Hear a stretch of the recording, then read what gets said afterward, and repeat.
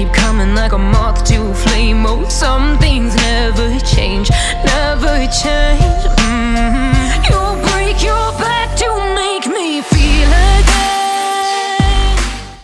Защита Семина пыталась выгнать отца Вайды из зала суда, ответ адвоката. Адвокат семьи Вайды рассказал, что защита обвиняемого в убийстве Семина ведет себя в суде крайне странным образом. Адвокат Дагир Хасавов, который представляет в суде семью убитой педофилом пятилетней таджикской девочки Хувайды Телазоды, рассказал спутник Таджикистан о том, как проходит судебный процесс. По его словам, в судебном процессе странным поведением отличилась адвокат обвиняемого Александра Семина. Известно, что в суде задержанного представляет его родная тетя Елена Самохина. Я только вернулся с заседания, на котором судья сделала два замечания защите Семина. Если адвокат получила бы третье, ее бы просто-напросто выгнали из зала суда, поскольку она вела себя неподобающим образом.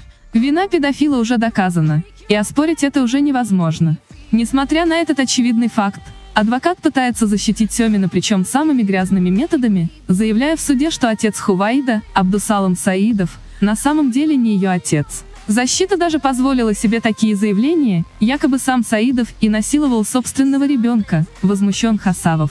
Однако суд оставил без рассмотрения все заявления защиты Семина, и статус отца Вайды на процессе остался неизменным. Он отметил, что сейчас Семину вменяются четыре эпизода преступления и одно убийство. Известно, что в 2015 году он уже домогался несовершеннолетних девочек. При этом адвокат считает, что участковый, так и не принявший тогда заявление от родителей и не изолировавший преступника, тоже должен пойти в тюрьму как соучастник преступления. Адвокат рассказал, что сейчас Семин находится под наблюдением в психиатрической больнице Смоленска, что очень выгодно его защите, я полагаю. Это может быть большая игра его тети и ставлю под сомнение его невменяемость. У меня есть достоверная информация, что он здоров, у него хороший аппетит.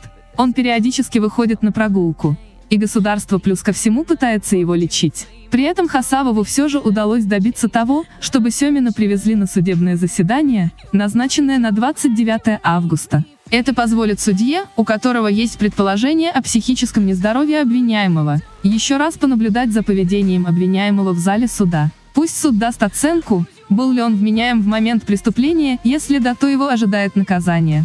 Сейчас его вина доказана полностью, и с этим соглашается прокурор. Но дело Семина приостановили из-за того, что у него якобы нашли частичные психические отклонения. Сам судья пока сомневается, что обвиняемый был в адекватном состоянии в момент убийства. Если мне удастся доказать, что Семин был вменяем, то он получит срок, объяснил адвокат. Как пояснил Хасавов, на одном из заседаний судья принял решение продлить Семину как меру пресечения арест, нахождение в психиатрической больнице до 13 февраля 2020 года под интенсивным наблюдением правоохранительных органов. Его защита, естественно, обрадовалась этому решению и была не против.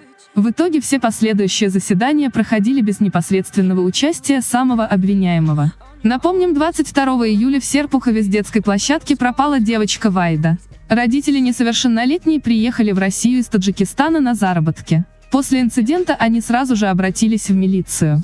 Спустя сутки тело пятилетнего ребенка нашли в спортивной сумке возле железной дороги. По горячим следам правоохранителям удалось задержать предполагаемого убийцу. Им оказался 28-летний Александр Семин, проживавший в одном доме с семьей погибшей. В его квартире были найдены следы обуви и отпечатки пальцев девочки.